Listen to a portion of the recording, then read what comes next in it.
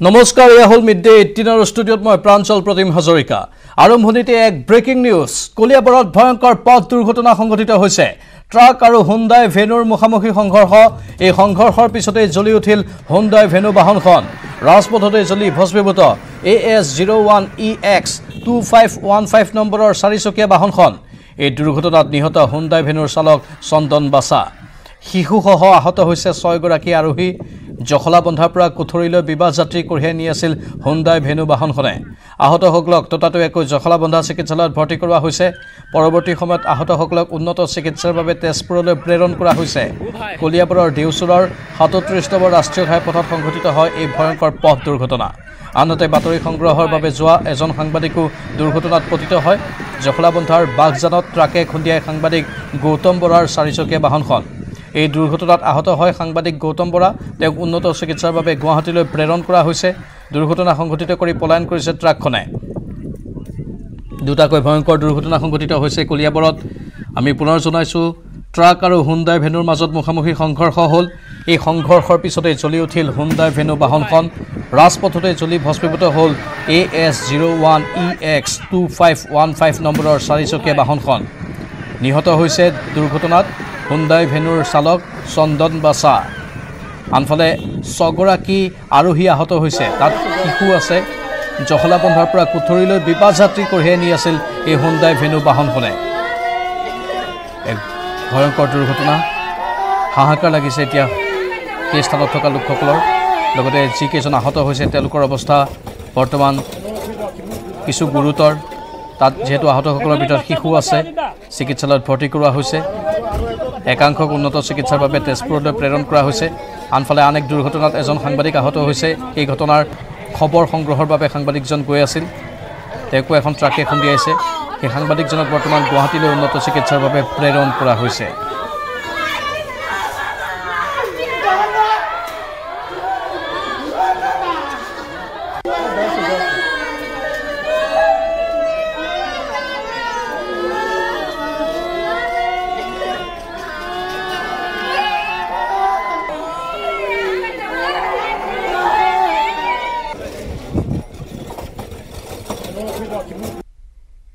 দুৰ্ঘটনা এটা হ'ল। তেওঁলোক ছজনৰে আহত এক্সিডেণ্ট মাথা ফাটিছে সৰু কেঁচুৱাজনৰো ঘাইল হৈছে আৰু খুৰাই বেছিকৈ এনজৰ্ড হৈছে। এইখিনি বিয়াখনত এতিয়া খুৰীৰ ভৰি ভাগিছে। এতিয়া আমিও ভালকৈ এতিয়া ক'ব পৰা নাই। ছজন মানুহ গৈছিলে গাড়ীখনত। ক'ৰ পৰা যোৰহাটলৈ গৈ আছিলে।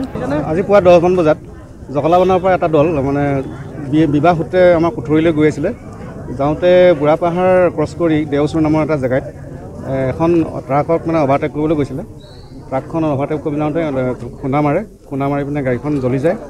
জ্বলি যোৱাৰ পিছত গোটেইকেইজন আহা- আহত ব্যক্তিক স্থানীয় ৰাইজে উদ্ধাৰ কৰি বাহিৰলৈ উলিয়ায় আৰু গাড়ীখন আমি দেখাত জপ জপকৈ জ্বলি আছিলে। আমি মানে ফায়াৰ ছাৰ্ভিচত ফোন কৰি ফায়াৰ ছাৰ্ভিচ ইতিমধ্যে পাইছেগৈ।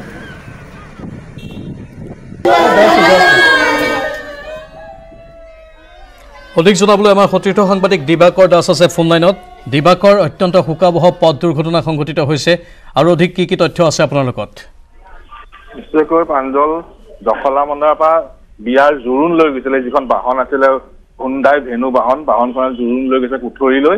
আৰু যাত্ৰা পথতে বুঢ়াপাহাৰৰ দেওচুৰত এখন ট্ৰাকত খুন্দা মৰাৰ ফলতে দুৰ্ঘটনাটো সংঘটিত হয়। আৰু দুৰ্ঘটনাত বাহনখনৰ সকলো যাত্ৰী আহত। তাত সাতজন ছজনৰ পৰা সাতজন যাত্ৰী আছিল। তাৰে এজনৰ চিকিৎসালয় অনাৰ পথত মৃত্যু হৈছে যিজন চালক আছিলে। আৰু আনহাতে মহিলাসহ তাত শিশু আছে সকলো গুৰুতৰভাৱে আহত আছে আৰু তেওঁলোকক প্ৰথমে জখলামদাৰ চিকিৎসালয়ত ভৰ্তি কৰা হয় তাৰপিছত উন্নত চিকিৎসাৰ বাবে তেজপুৰলৈ প্ৰেৰণ কৰা হয়। কিন্তু এই দুৰ্ঘটনা সংঘটিত হোৱাৰ কিছু সময়ৰ পিছতে হুণ্ডাই ভেনু বাহন ডাঙৰ ডাঙৰকৈ জ্বলি উঠে। প্ৰাঞ্জল। দিবাকৰ এই ঘটনা অত্যন্ত দুৰ্ভাগ্যজনক। সমান্তৰালভাৱে আন এক দুৰ্ঘটনা সংঘটিত হ'ল এই খবৰ এই বাতৰি সংগ্ৰহ কৰিবলৈ অহা এজন সাংবাদিকো আহত হৈছে দুৰ্ঘটনাত। সেই সন্দৰ্ভত কি তথ্য আছে? নিশ্চয়কৈ যি এই যি দুৰ্ঘটনা খবৰ পোৱাৰ লগে লগে বাতৰি সংগ্ৰহ কৰা গৈছিলে জখলামুন্দাৰ পৰা এজন সাংবাদিক। তেওঁ নিজৰ চাৰিচকীয়া বাহনখন লৈ গৈছিলে। আৰু যোৱাৰ পথতে এখন ট্ৰাক এটা পিছফালৰ পৰা খুন্দা পায় যাৰ ফলত তেওঁ গুৰুতৰভাৱে আহত হৈছে আৰু তেওঁক ততাতৈয়াকৈ জখলামুন্দা চিকিৎসালয়ত ভৰ্তি কৰা হয়। আৰু চিকিৎ- চিকিৎসা চিকিৎসকৰ পৰামৰ্শ অনু- অনুসৰি তেওঁক উন্নত চিকিৎসাৰ বাবে গুৱাহাটীলৈ প্ৰেৰণ কৰা হৈছে। প্ৰাঞ্জল দিবাকৰ কিন্তু যিখন হুণ্ডাই বাহনৰ যিসকল যাত্ৰী আছিল তেওঁলোকৰ স্বাস্থ্যৰ অৱস্থা বৰ্তমান কেনেকুৱা? আঘাত কিমান গুৰুতৰ? আঘাত যথেষ্ট গুৰুতৰ। কাৰোবাৰ ভৰিত আঘাত পাইছে কোনোবাই কঁকালত পাইছে মূৰত পাইছে। মানে দুৰ্ঘটনা ভয়ংকৰ আছিলে এখন ট্ৰাকত যিহেতু খুন্দা মাৰিছে আৰু প্ৰায় সংখ্যক আৰোহীয়ে গুৰুতৰভাৱে আহত যাৰ কাৰণে তেওঁলোকক উন্নত চিকিৎসাৰ বাবে তেজপুৰলৈ প্ৰেৰণ কৰা হৈছে পাঞ্জল ধন্যবাদ জনাইছোঁ দীপাকৰ হুণ্ডাই বাহনখনৰ চালকসকলক তেজপুৰলৈ উন্নত চিকিৎসাৰ বাবে প্ৰেৰণ কৰা হৈছে। আনফালে সাংবাদিকজনক যিজন এই বাতৰি সংগ্ৰহ কৰিবলৈ আহি আছিল তেওঁকো এখন ট্ৰাকে খুন্দা মাৰিলে। তেওঁৰ অৱস্থাও কিছু গুৰুতৰ। তেওঁক গুৱাহাটীলৈ উন্নত চিকিৎসাৰ বাবে প্ৰেৰণ কৰা হৈছে। দুটাকৈ ভয়ংকৰ পথ দুৰ্ঘটনা সংঘটিত হৈছে আৰু তাৰ পাছতে হাহাকাৰ লাগিছে জখলাবন্ধাৰ এই স্থানত।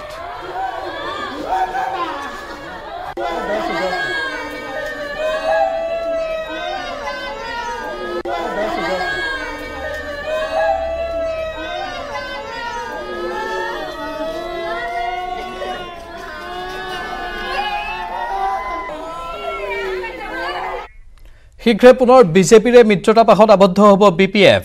আজি মুছলপুৰত বি পি এফৰ কাৰ্যনিৰ্বাহকৰ বৈঠকত শাসকীয় দলটোৰে পুনৰবাৰ মিত্ৰতা কৰা সন্দৰ্ভত কৰিব আলোচনা। মুছলপুৰত অনুষ্ঠিত বি পি এফৰ কেন্দ্ৰীয় কাৰ্যনিৰ্বাহকৰ পিছতেই বি পি এফ নেতৃত্বই মুখ্যমন্ত্ৰীক অৱগত কৰিব সিদ্ধান্ত। হাগ্ৰামা মহিলাৰীৰ নিৰ্দেশ মৰ্মে হ'ব সকলো সিদ্ধান্ত। এই মন্তব্য কলাইগাঁৱৰ বি পি এফ বিধায়ক দুৰ্গা দাস বড়োৰ।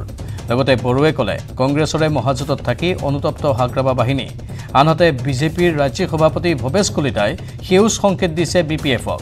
ঘৰলৈ অহা আলহী খেদি নিদিওঁ বুলি তাৎপৰ্যপূৰ্ণ মন্তব্য কৰি বিজেপিৰে যে পুনৰবাৰ বি পি এফৰ মিত্ৰতা হ'ব তাৰেই ইংগিত দিলে ভৱেশ কলিতাই।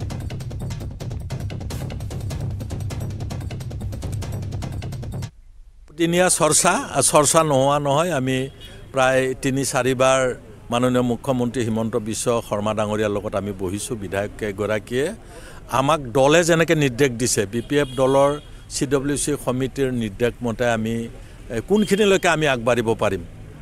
সিমানলৈকে পৰামৰ্শ দি আমাক তালৈ আলোচনা কৰিব পঠিয়াইছে কাৰণে আমি আলোচনা কৰিছোঁ। এক।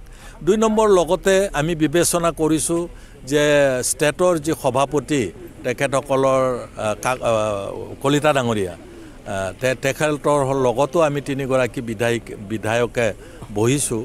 আৰু আজি কেইবাটাও বিষয়ত আলোচনা হৈছে যদিও আজি মাননীয় মুখ্যমন্ত্ৰী ডাঙৰীয়াই প্ৰেছ প্ৰেছ কনফাৰেঞ্চ কৰা কথা পিছবেলা। আমাকো তালৈ দুদিন আগতে নিমন্ত্ৰণ কৰিছে। সময়টো আমি জানিব পৰা নাই। আৰু নিশ্চয় কিবা তেনেকুৱা কথা মাননীয় মুখ্যমন্ত্ৰী ডাঙৰীয়াই আমি দিয়া প্ৰস্তাৱসমূহৰ ভিতৰত ঘোষণা কৰিব আমাক সকলোকে এটা অনুপ্ৰেৰণাৰ প্ৰয়োজ- প্ৰয়োজন যি আমাক সৰ্বশ্ৰেষ্ঠ প্ৰাপ্ত কৰিবলৈ উৎসাহিত কৰে। আমাৰ বিশেষ উদ্যোগ বাইজুছ য়াং জিনিয়াছ য'ত বিভিন্ন ক্ষেত্ৰৰ কিছুমান মহান তাৰকাক সংযোগ কৰা হয়। যিসকল শিশুসকলৰ বাবে অনুপ্ৰেৰণা আছিল। এই সপ্তাহত আমাৰ গায়ক সকলোৰে জনপ্ৰিয় সকলোৰে মাজত জনপ্ৰিয়তা অৰ্জন কৰা সুৰকাৰ শংকৰ মহাদেৱনৰ সৈতে আমি যোগদান কৰিছোঁ।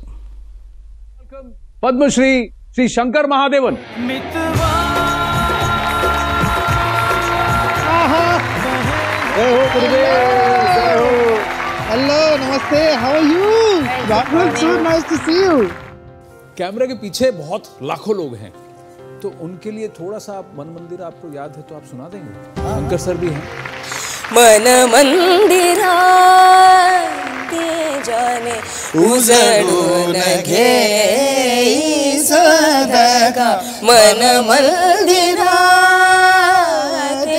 जाने उजळून घे सदका संवेदना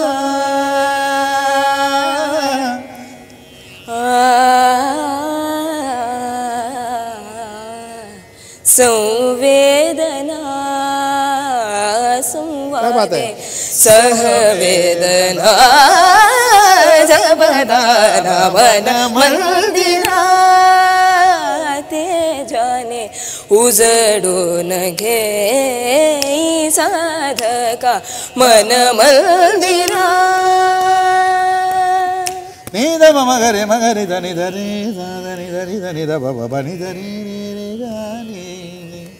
ನಿಜರಿ ಮಗರಿ ರೀ ರೀ ಮಪ ನಿದ ದ ಪದ ದ ಮ ಮಗರಿ ಜ ನಿಜರಿ ಮಪ ಸ ನಿದ ಮ దద పద దబ మ ప ప మ గ మ మ గరి జ ని జరి మ ప జ ని దబ మ గరి Ni da ni ba da ba ni da ni ba da ba ma ba ni da ba ma gare magare da ni da ma gare da ni da ni ni da ba ba ba ni da ni ma gare da ni da ni ma ba ma gare. రిమ ప ప ప మమ ప ప ప ప మమ ప ద ద ప మ ప ద ద ప మ గ రి ప మ గ రి స రి మ ప ని స ని ద ప